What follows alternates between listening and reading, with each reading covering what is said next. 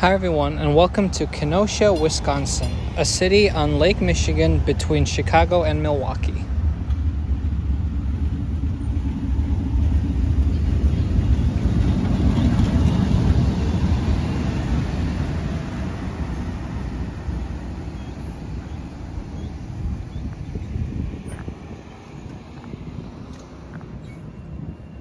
The Kenosha streetcar is a loop line that opened in the year 2000.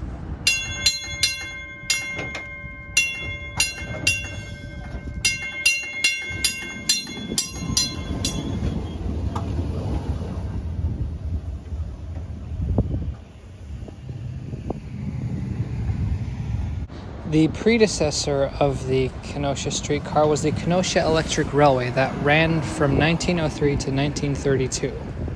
However, these PCC cars that we see in Kenosha today are from the 1950s and come from Toronto.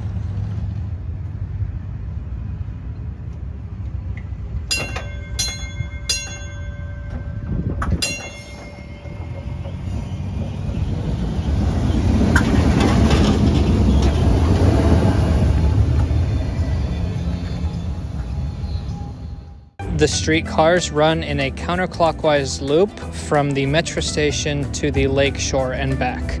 Kenosha is also the only city in Wisconsin to have a Metra station.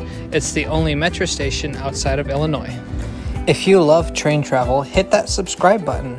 We upload at least once a week, and this way you won't miss any of our content. You can also join our community on Patreon your support gives you access to cool features such as early video releases. And finally, follow us on our social media, Instagram and TikTok.